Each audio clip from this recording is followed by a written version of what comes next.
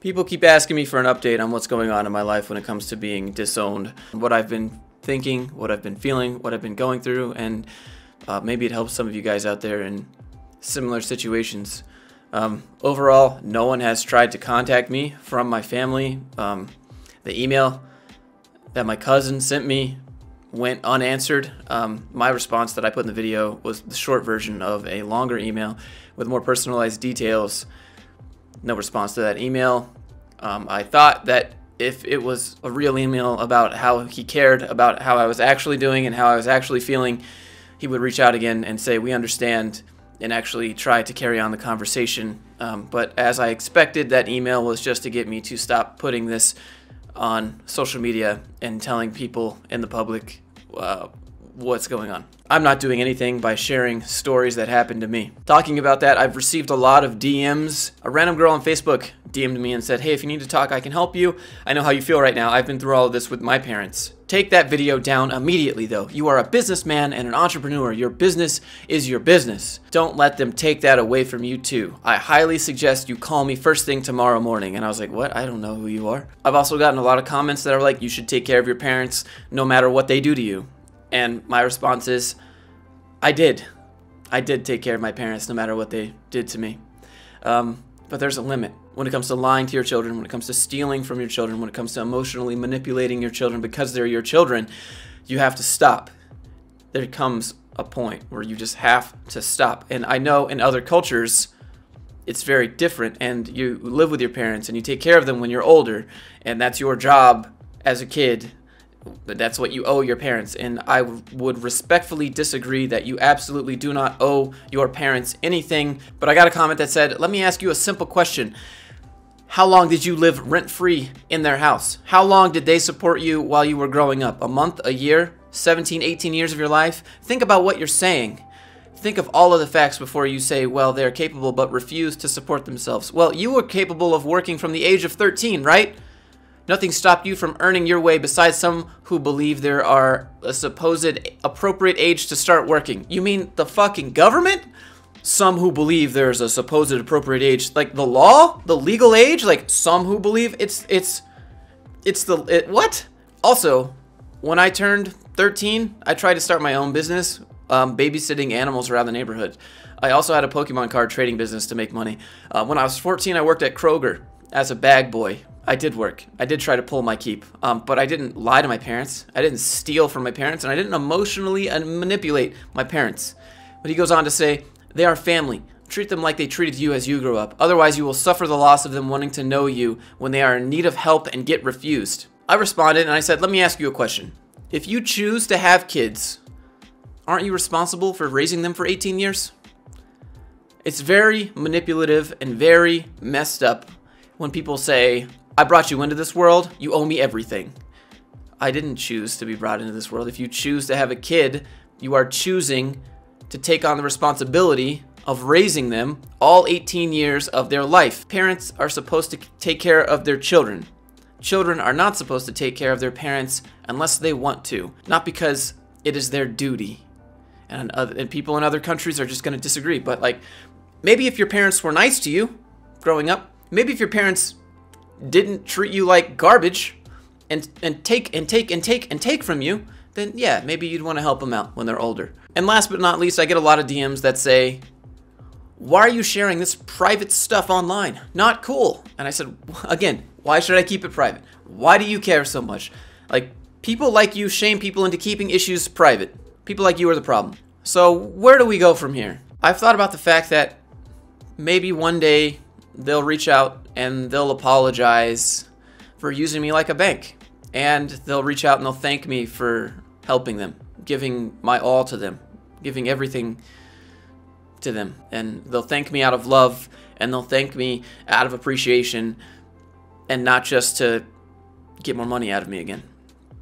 But I've also had to come to terms with the fact that I'll never have the relationship that I have in my mind with them in real life. Um, before, I thought my father and I could both have booming businesses and we could make up for all that lost time when I was a kid of not having a father son relationship um, when he worked all day and just ignored me. And I figured now, as grown adults, I've kind of figured out how to do this, and I could help him. And we could make up all that time and share our mutual interests now. I thought it would be cool to, to both get motorcycles and go explore Utah and like vlog that together and make like little videos where we go explore, you know, urban exploration and old mines. And sometimes I look around at other families that at least look functional and, and families that have good relationships with their children. And sometimes I think to myself, it must be nice. It must be nice. I wonder what that's like when you just need someone to talk to, or they're just checking in on you, or they just tell you, hey, we're proud of you. Hey, we love you. And they're not just saying that because they want something from you, it's just because it's genuine. And, you know, for a while, for the first few years of this, I, I would just really, I, I would get jealous. Honestly, I just get jealous of other people having functional families. And I, I, for some reason, I'm just stuck with mine. And, and this just sucks. One of the things that really gets me is when I see families sharing things that I'm passionate about. And when I see those things being passed down in the family, uh, I feel like I'm missing out. I wish I was part of that family instead of my own, many, many times. Um, I, I give you an example. What I mean is like I'm passionate about aviation. I like flying planes, and whenever I talk to people that are getting into it, I would say like eight out of ten times everyone says, flying has always been in our family. It's just something that we've always done. You know, my grandfather flew, and you know, my father flew, and now I'm learning how to fly. And it's just something everyone has always done in my family, and we all love it. And I just wish that my family had something like that, where we could all share something. When I watch videos about people flying bush planes on YouTube, and I see them all lined up and parked, and you got the grandfather's airplane and the father's airplane and the son's airplane, you know, and it's just like, why couldn't I be part of a family that that did something like that? That was like super cool, where we all share the same passion. You know, there was none of that in my family. The only thing that was passed down in my family was this bullshit culty religious stuff where you get sent to church camp and all this other nonsense. Like that was the only thing that we had in our family. I sometimes wonder how people get started with something, with, with doing a, a passion or a hobby or living a certain lifestyle. And when I find out that their parents or their grandparents just helped them out, like I feel jealous. And I shouldn't. And I know it's wrong for me to feel jealous. Uh, and I just think to myself, it must be nice to have college fucking paid for. It must be nice to have your family show up at your wedding.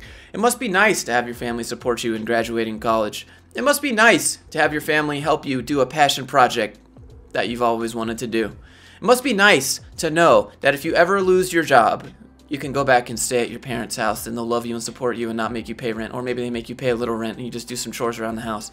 It must be nice to have that because I don't have any of that. That's a big one for me. When people say, oh, Josh, if you want to save money, just move back in with your parents, which literally doesn't exist for me. If anything happens to me in my situation, I have nowhere to go.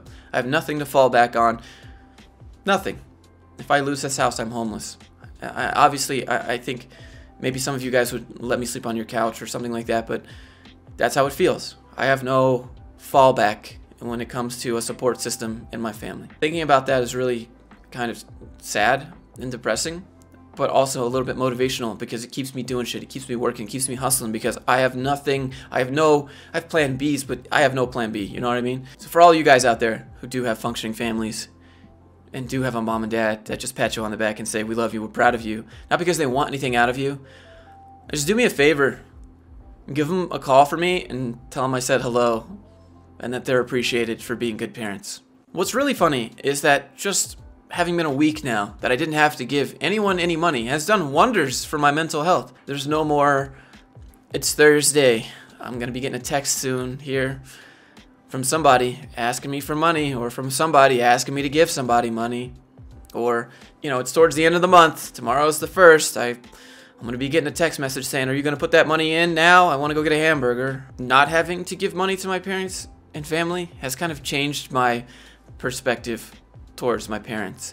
And it's an interesting dynamic how money changes the relationship and creates so much resentment. Right now currently in my state of mind i actually wouldn't mind hanging out with my mom, and I wouldn't mind hanging out with my dad as long as I didn't have to give them anything. As long as there was just a mutual conversation. But I know that would turn into the exact same thing. It would just be, you know, we want something from you. And the truth is that they need time away from me to get their lives sorted out. This is going to sound absolutely terrible, and it's not how I mean it, but I, maybe you can relate to this. I think my dad, as a person, just as a person, is great. He works really hard. He has a lot of skills. He has a lot of knowledge about a bunch of things that most people don't know anything about. And he can build good things and he can fix almost anything. You know, he's a dedicated worker. He does good work when he does it. He doesn't half ass anything. But as a father, he's horrible. Horrible at it. Absolutely terrible father.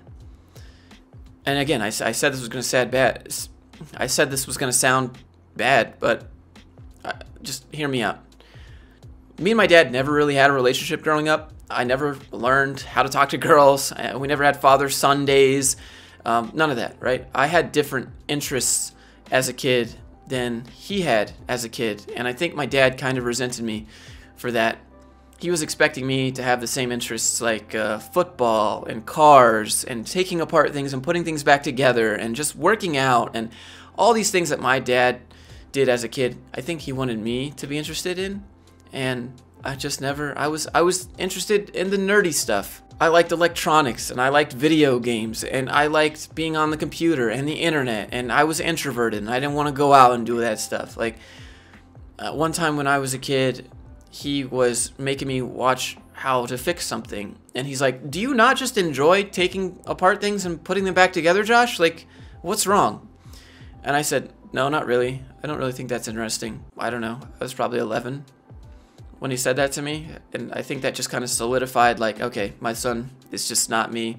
He's never going to be interested in the things I'm interested in or was. And, and he just does his own nerd shit and plays Sega all day, whatever. And he just kind of wrote me off. And honestly, I think my dad was disappointed in me as a son. I was pretty aware that he was disappointed in me as a kid. He just, he never laughed at any of the jokes that I made. He never thought any of the interests I had were cool. Um, he just kind of did his job as a parent and just kind of said, okay. It was really weird to be aware that your dad just doesn't really like you as a kid and he thinks that all your interests are stupid. That's a really weird dynamic and you just kind of exist in his household. And you want a relationship with your dad. Like I wanted a relationship with my dad as a kid. And so honestly, I tried to change my interests or I tried to pick up his interests in high school to kind of impress him which is so stupid to think about now. I signed up in high school to play football. I had absolutely zero interest in football. I don't give a fuck about football. It doesn't mean shit to me, but I know my dad played football in high school, and so I signed up to, to play it. And I did like three or four training sessions, and I quit. And I remember like crying, like hysterically, as like a 16 year old kid thinking my dad is going to be so disappointed in me because I just quit and I didn't I, like I'm not going to be on the football team now. Because when I first told him I'm signing up to play football I brought the paper to him I was like hey dad I want to sign up to play football. He's like oh really Josh? Like his eyes got real big. And he's like really? You want to play football? And I was like yeah and so he took me down there and we signed it up and he was like super excited to take me out of the sports stores and get me all the sports stuff and then I did a few sessions and I was just like, this isn't for me. I can't force myself to do something I just have absolutely zero interest in to impress somebody. So I quit. And when I quit, I walked off the field and I cried. And I gave my gear to the coach and I said, I'm, I'm done. This is not doing it. I don't like it. And my dad was like so disappointed in me. And that was basically the relationship I had with my dad as a kid. Uh, zero. Didn't exist. Really no kind of father figure growing up. Um, I had an uncle that kind of like brought me under his wing. He was, he was he was a good dude.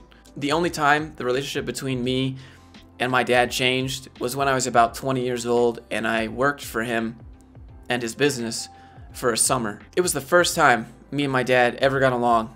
You know, he was working a job that he didn't hate and I was grown. It had been a few years since we seen each other since I left to go live in Finland and it was like we were both grown men. We hadn't seen each other. We came back and we were just kind of bouncing stuff off of each other. And he was laughing at my jokes for the first time in my life. He was kind of like, yeah, dude, let's do this and let's do that. And I was like, cool. And whatever. We got along. Or one time I dressed up exactly like he did to go to work. I put on the exact same shirt and I tucked my shirt into my Levi blue jeans that I went out and bought, and I put the same exact belt on. And my dad smoked cigarettes, and I put a little packet, little carton of cigarettes, and the little, little pocket protector, whatever.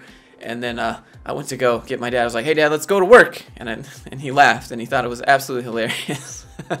when that happened, when that relationship dynamic changed with my dad, I started thinking, you know what, maybe I could salvage this relationship. You know, I've always wanted a relationship with him. Maybe he's coming around, and I can help him. For my mom, I would say, I would say it's the opposite. As a mom, my mom was great. You know, she was pretty loving. She tried to help support me when I was sad, when I didn't have friends at school, and I didn't want to go to school because I didn't like any of my classmates or whatever, right? Like I just she let me stay home. She let me do homeschool for like one year. Like as a mom, she was a she's a fairly decent mom, you know? She did her best. But as a person, my mom just isn't a responsible adult at all. Like when I found out that money had been stolen from my credit card, I called her and I said, uh, Do you know anything about this? And she said, I don't know anything about the money, Josh. Ask your dad. To which I said, How do you think your bills are getting paid every month? Like, you, you owe a lawyer, you owe the company, and you have to pay a mortgage? How do you think, like, you never once questioned how you're not homeless right now? And she says, I don't know, Josh. I've never messed with the money. Your dad is always taking care of the money stuff. I don't know anything about it. And I'm like, That's kind of it's kind of strange. You've kind of been married for like 30 years. You should know something about the finances between you guys. Like you should step up and, you know, like you're not working right now and he's working. And how do you think you're surviving right now? I, I don't know, Josh. I don't know. I just garden. Just very kind of brushes everything off to my dad. Um, very just not a responsible adult at all.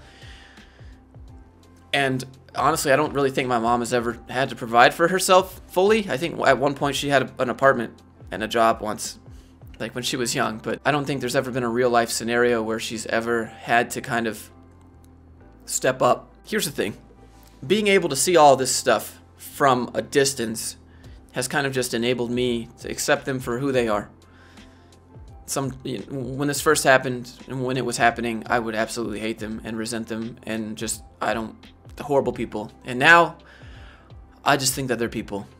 They're people with their own demons, they're people with their own problems, it just didn't work out. They're my biological parents, and I wish them well, but we just aren't compatible as a family, and it will never be family first. As far as I'm concerned, I'm an orphan. I've gone through a few mental exercises to kind of prepare for the worst, such as what if no one in my family never talks to me again? What would that actually be like when I'm old and everyone dies off? Will I get notified if my grandparents are sick or if they die? Will I get an invitation to the funeral? No? Then so be it. This was really hard to accept at first. This is really kind of push, this, this, this is the sort of thoughts that you have that kind of like push you over the edge and it's just like would you want to go, Josh? Not after the way that I've been treated. No, not really. What will happen to my parents? Will they ever try and reach out to me again? I don't know. What if they never do? What if they never come around? What if they never say thank you? What if you never see your mom and dad again ever? I guess then so be it. What happens if they die? Will you find out about it, Josh? I don't know. And so be it. And those are the thoughts that you have to prepare yourself for when you fully cut off your family. Everyone in my family is blocked on my phone. Everyone in my family is blocked to try and call me. But my family knows where I live. My family has my email. If they really wanted to talk to me and reach out to me, they could. Honestly, I don't expect anyone to actually make the effort to reach out to me out of love, um, especially because I put this on YouTube. They've probably, honestly, my family has probably just written me off as the crazy person who didn't accept the truth and the gospel and the religious culty nonsense. And so I will forever be the black sheep for doing this, which sucks because in reality, I'm probably the most logical and down to earth person in this family. I'm not even that religious, and I'd venture to say that I am more Christian than anyone in my family. It's sad, really. I've received a lot of positive support, and I've received a lot of offers to be ears that will just listen to me if I ever need someone to talk to. And for that, I am infinitely grateful. You know, it wasn't easy, but I'm fine. The first few days were me swinging back and forth emotionally, wondering, you know, I wonder how my dad is doing. I wonder what he's doing right now. Is he still trying to get a job? Is he trying to make it work? Is he trying to hustle? Like I want, I want to go find out how he is. I want to go see him, but I know that would not be. That's not good. And it was like that the first few days, and then after that, I'm fine. If you are going through something similar, I'd like to offer you my ear to listen. It's the least I can do for everything that you guys have done for me. Anyways, that's where I'm at over the past week. Thanks for listening. Thanks for being here. Thanks for the support. I'll see you guys in the next one.